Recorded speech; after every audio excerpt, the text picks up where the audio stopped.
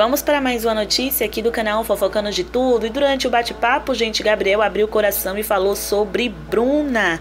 É, ele disse: Por incrível que pareça, acho que o Brasil vai duvidar de mim agora, mas eu sou uma pessoa que dificilmente se apaixona.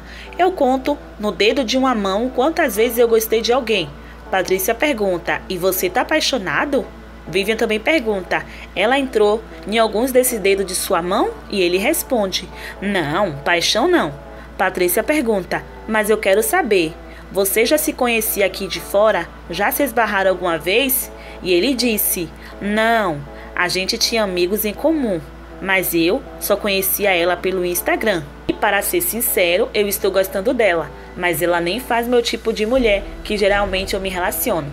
Gabriel, ele comentou que estava do lado oposto de Bruna, mas afirma: Eu acho que de alguma forma eu estava jogando com ela. Se eu tivesse ganhado o anjo, ela não teria ido para o paredão essa semana. Porque eu ia dar imunidade para ela. E aí, gente, o que é que vocês acharam aí dessa revelação que Gabriel contou sobre Bruna? Deixa aqui no comentário a opinião de vocês. O que é que vocês acham? Até a próxima notícia. Essa foi mais uma notícia do canal Fofocando de Tudo. E aí, gente, o que vocês acharam dessa notícia? Deixa aí a opinião de vocês no comentário deixa aquele like e ativa o sininho para não perder nenhum dos nossos vídeos e ficar por dentro de todas as notícias dos famosos. E até a próxima, tchau!